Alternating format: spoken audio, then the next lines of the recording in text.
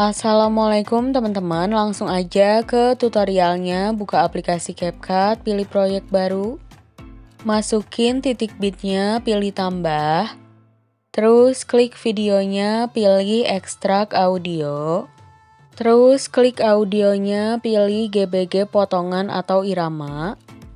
Nah, di sini kayak biasa kalian tinggal ikutin aja titik kuning yang ada di videonya dan klik tambahkan irama sampai akhir.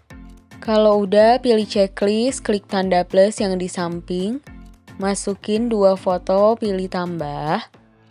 Nah, video titik bitnya hapus, akhirannya hapus. Oke, untuk durasi foto yang pertama 4.2 detik. Perbesar dulu sedikit fotonya. Kalau udah, pilih animasi, pilih combo. Pilih perbesar 2 Durasinya fullin ya, pilih checklist. Nah, sekarang di awal sama di akhirnya kasih keyframe tetap dulu. Kalau udah di tengah-tengah foto pertama kasih keyframe fotonya perbesar. Oke, sekarang kita edit foto kedua durasinya 4 detik ya. Terus kalian bisa ke awal foto kedua, perbesar dulu layarnya. Perbesar fotonya sedikit aja. Nah, di titik bit ke-1 sampai ke-6 kasih keyframe tetap dulu. Oke, kalau udah. Di antara titik bit ke-5 dan ke-6, di tengahnya kasih satu keyframe. Fotonya perbesar, terus ke atasin kayak gini ya. Kalau udah, di antara keyframe yang di tengah sama titik bit ke-6 di tengahnya kasih keyframe. Fotonya ke bawahin. Oke, sekarang ke titik bit yang kelima. Keyframe yang di titik bit kelima ini kita anggap keyframe pertama ya. Di keyframe ke-1 dan kedua, di tengahnya kasih grafik keluar satu. Antara keyframe kedua dan ketiga kasih keluar satu. Antara 3 dan 4 kasih masuk satu, pilih checklist. Nah, sekarang kasih keyframe tetap di titik bit yang belum ada keyframe-nya. Kalau udah, sekarang aku jelasin cara edit jeda geduknya. Kalian bisa ke awal foto kedua. Di antara titik bit ke-1 dan kedua, di tengahnya kasih satu keyframe, fotonya miringkan ke sebelah kanan 2 derajat. Terus kasih keyframe sebelah kirinya. Keyframe yang di tengah hapus tambah lagi, keyframe di kirinya hapus. Nah, di antara keyframe ke-1 dan kedua, di tengahnya kasih grafik, keluar satu. Antara 2 dan 3 kasih masuk satu, pilih checklist. Nah, di antara titik bit kedua dan ketiga caranya sama, di tengahnya kasih keyframe, fotonya miringkan ke sebelah kanan 2 derajat. Kasih keyframe sebelah kirinya, keyframe yang di tengah hapus tambah lagi, keyframe di kirinya hapus. Di antara keyframe ke satu dan kedua, di tengahnya kasih grafik keluar satu. Antara 2 dan 3 kasih masuk satu, pilih checklist. Nah, sekarang di antara titik bit ketiga dan keempat sampai akhir foto kedua, pokoknya yang di tengahnya masih kosong. Caranya sama kayak di antara titik bit ke satu dan kedua tadi ya. Kalau udah, pilih animasi, pilih combo, terus pilih perbesar 2. Durasinya fullin ya. Pilih checklist. Oke, sekarang kalian bisa langsung aja salin foto yang kedua ini. Terus klik foto yang disalin, pilih fitur ganti. Ganti fotonya ya. Oke, sekarang aku jelasin yang screenshotnya dulu. Kalian bisa ke di antara titik bit kelima dan keenam di foto yang kedua ini ya. Nah, di antara titik bit kelima dan keenam, di tengah-tengahnya ini pilih overlay, pilih tambahkan overlay.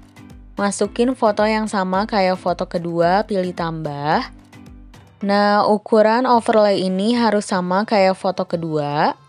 Caranya kalian tinggal pilih gabungan, terus turunin dulu intensitasnya, pilih checklist. Nah, kalian tinggal perbesar aja, sesuaikan sama foto yang keduanya ya, teman-teman. Oke, kalau udah pilih gabungan lagi. Jadiin 100 lagi ya. Pilih checklist. Oke, untuk durasi overlay ini satu detik ya. Kalau udah, kalian bisa ke awal overlaynya. Kasih keyframe tetap. Di titik bit yang pertama, kasih keyframe, fotonya perkecil, terus ke atasin kayak gini ya teman-teman. Kalau udah di titik bit yang kedua dan ketiga, kasih keyframe tetap dulu. Nah, kalau udah di antara titik bit kedua dan ketiga, di tengahnya kasih keyframe, fotonya ke bawahin.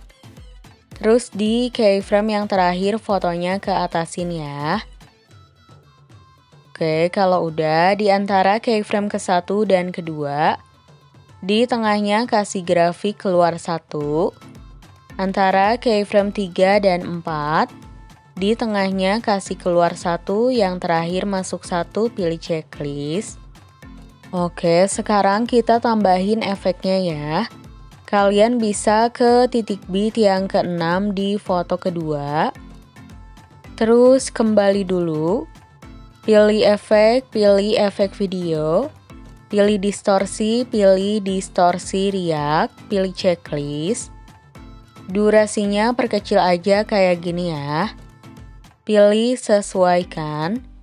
Keterangannya udah aku simpen di sini kalau udah pilih checklist.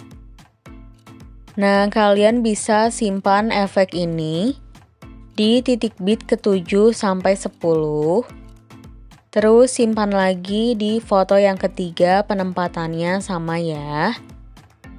Oke, kalau udah kalian bisa ke titik bit yang keenam lagi. Kalian salin efek yang ini. Durasinya harus lebih besar dari bagian pertama, pilih sesuaikan. Keterangannya udah aku simpen di sini. Pilih checklist. Salin efeknya simpan di titik bit yang ke-7 sampai 10. Pokoknya di sebelah bagian yang pertama. Ukurannya harus lebih besar dari bagian yang pertama ya, teman-teman. Oke, kalau udah kalian bisa ke titik bit yang ke-6 lagi.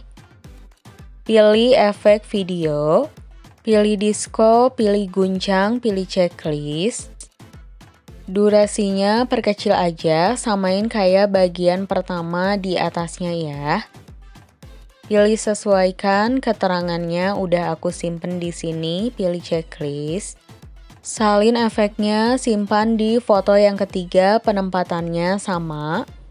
Oke, sekarang ke titik bit yang ketujuh, pilih efek video. Pilih pembukaan, pilih kabur miring, pilih checklist. Durasinya samain kayak bagian pertama di atasnya. Pilih sesuaikan, kabur sama putarnya 30, pilih checklist. Salin efeknya simpan di titik bit ke-8 sampai 10. Pokoknya di bawah bagian yang pertama ya. Oke, kalau udah sekarang ke sebelum titik bit yang ke-6. Nah, kira-kira di sini pilih efek video. Pilih disco, pilih kilat getaran, pilih checklist. Durasinya sesuaikan aja kayak gini. Pokoknya yang blurnya harus ada di titik bit yang keenam ya. Kalau udah salin efeknya. Simpan di foto yang ketiga penempatannya sama. Sekarang ke titik bit yang kedua, pilih efek video, pilih lensa, pilih cermin, pilih checklist. Durasinya udah aku simpen di sini ya, biar videonya nggak kelamaan. Oke, kalau udah kalian bisa ke awal foto yang pertama. Kembali dulu pilih overlay, pilih tambahkan overlay, pilih stock video, pilih warna hitam, pilih tambah, perbesar dulu ya. Durasinya satu detik, pilih animasi, Pilih keluar, pilih pudar keluar, durasinya fullin, pilih checklist. Sekarang ke awalan lagi. Pilih tambahkan overlay, masukin pelanginya, pilih tambah. Perbesar dulu, pilih gabungan, pilih filter. Intensitasnya 70, pilih checklist. Durasinya sampai akhir foto yang ketiga ya. Yang terakhir klik tanda plus, masukin penutupnya, pilih tambah.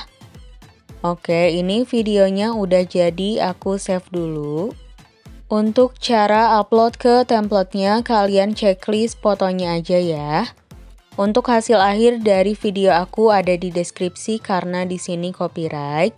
Segitu dulu tutorial dari aku.